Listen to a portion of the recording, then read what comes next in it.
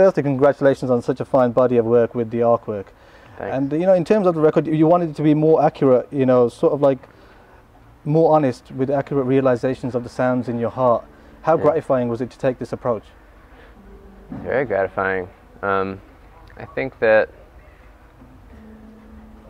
um, like Liturgy's always been kind of misunderstood because it's been seen as a black metal band, which it which it is in a way. But um, I uh,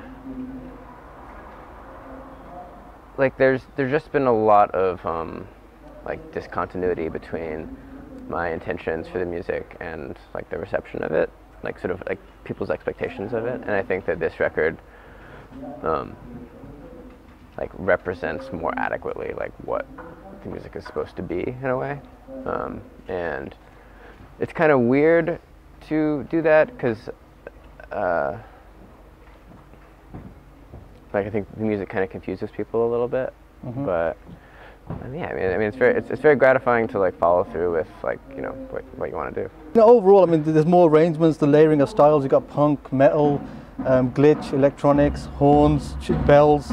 You know, how challenging was it for you to kind of mold all these compositions? And you know, was that again, was that something that was was it an organic approach, or did you have that in mind? It, it was hard. I mean, it, it took a long time because it's because I mean, I really didn't want to like make some kind of just like wacky eclectic album with like you know a little mix of this and a little mix of that and like um, some kind of like postmodern hodgepodge. You know, I wanted to like make something that drew from everything I loved but was its own thing um, and like coheres and um, that yeah it takes a lot of like simmering to get things to uh, like resonate. I, like I don't like thinking of it so much as an eclectic album.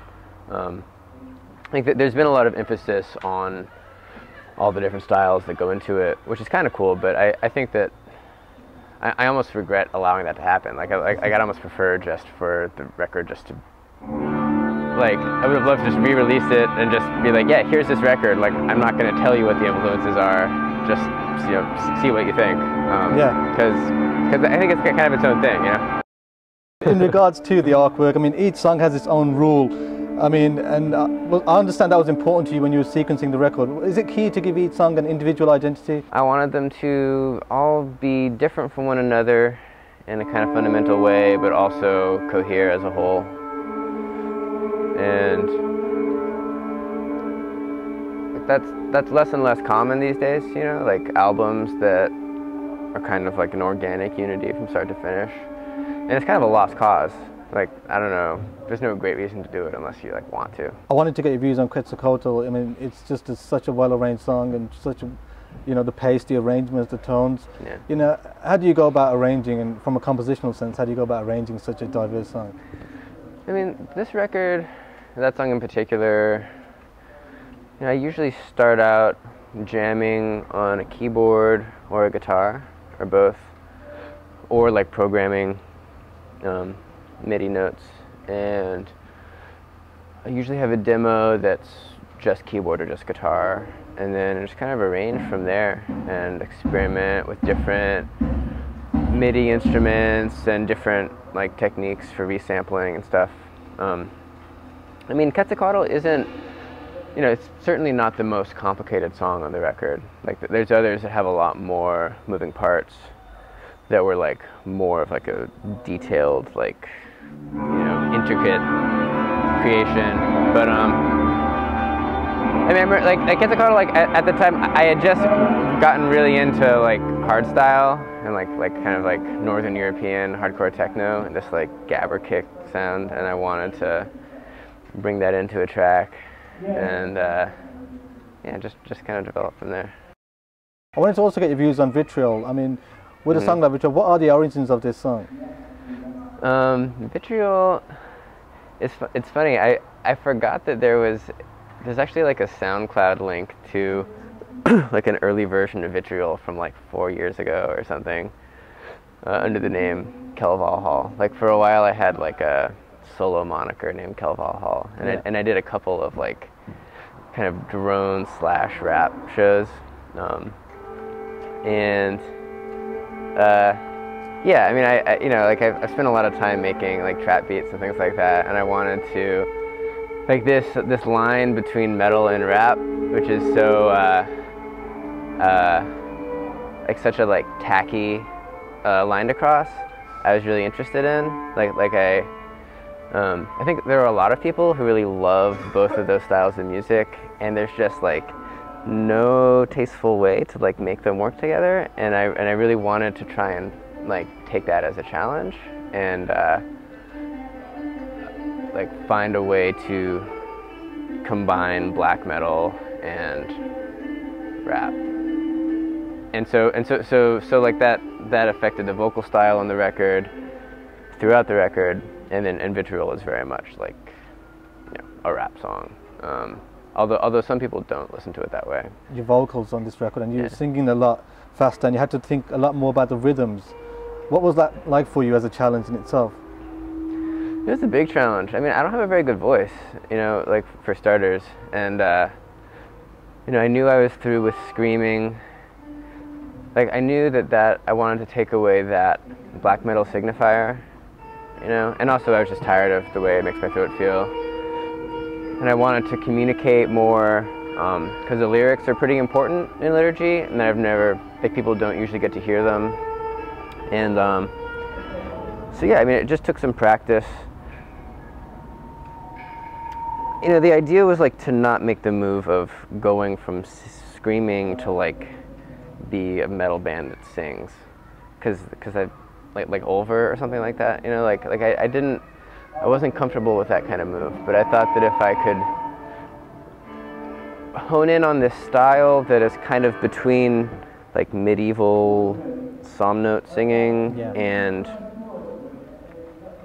this style of you know kind of Bone Thugs-n-Harmony, T6 Mafia rapping that I've just like always loved so much, and which there's a lot of now, again in a way, um, that it would be cool. And like like it's it's it's the most um, it's, maybe it's the weirdest part of the record. Like I, I think it's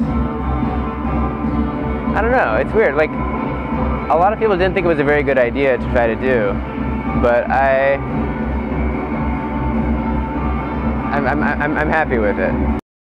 When you guys perform live, it's where you guys really come to the fore and you guys are so electric and such a pulsating atmosphere. Yeah. How do you feel your live shows have evolved over the years?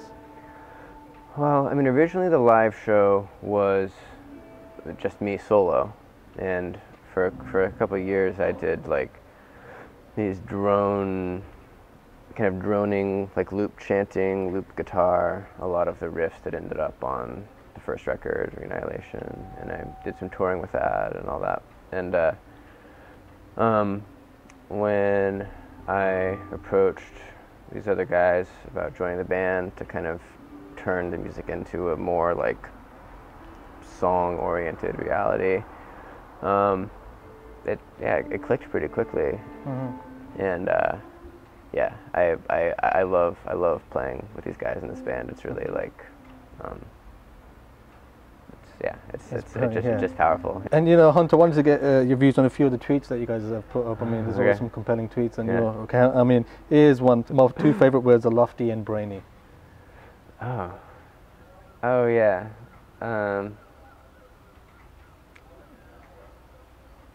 I I don't like the way that uh, the band is characterized in the media very much, and uh, and I, yeah, this idea that like Liturgy is like a brainy, a brainy band. I, I think like there was a like a piece in Pitchfork that described us as like known as being a brainy band, and it's like it's just so the opposite of that. Like it, it's the most like visceral, emotional, like heartfelt music.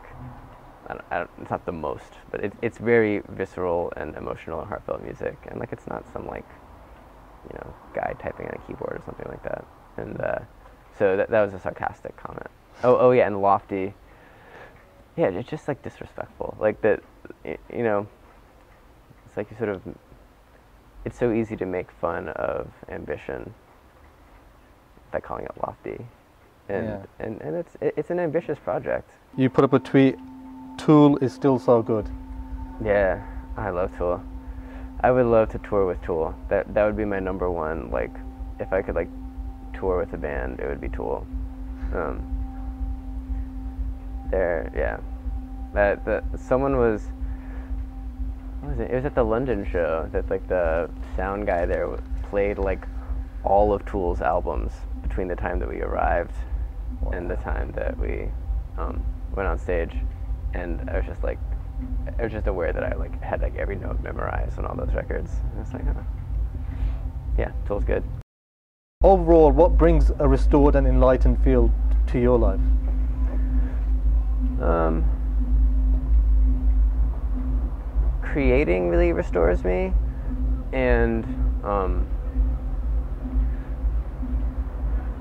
I don't know. I mean, other stuff that doesn't have to do with music at all. I mean, I mean, I, mean, I appreciate you know connecting with people through music, but in a way, what's most restorative is my relationships to like my girlfriend and my family, and you know, like that's that's in a way the most important stuff is like the people who are right around me and who I can like support and take care of.